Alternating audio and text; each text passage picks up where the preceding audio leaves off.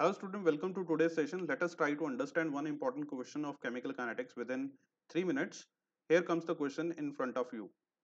So question seems to be two-liner question but it's an important question. Degree of dissociation is being asked for a reaction after this, this much of seconds and rate constant is being given to you.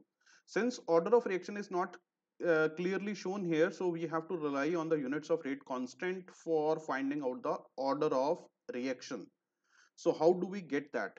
So we can simply say it like this that the rate of reaction is directly proportional to concentration to the power n where n is the order of reaction which is experimentally found. And to remove this proportionality sign it is to be multiplied by k. That is rate constant. The equation roll down to this.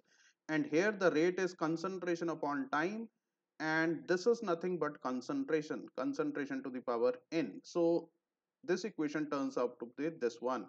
Now if i place the value of n equal to 1 here n equal to 1 so the k would become mole 1 minus 1 litre 1 minus 1 second 1 so that becomes second inverse. So the this particular question the order of reaction is 1 because it is given as second inverse. So now if i have to apply this here now once you get the order of reaction we can apply the integrated rate law.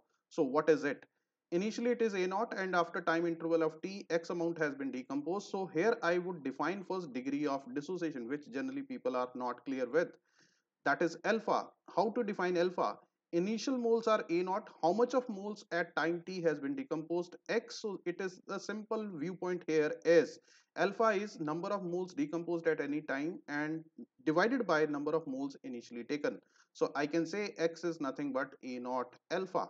Now now to apply this into the integrated rate law what we can do here is simple. This expression you people all know that k is equal to 2.303 log a naught upon t.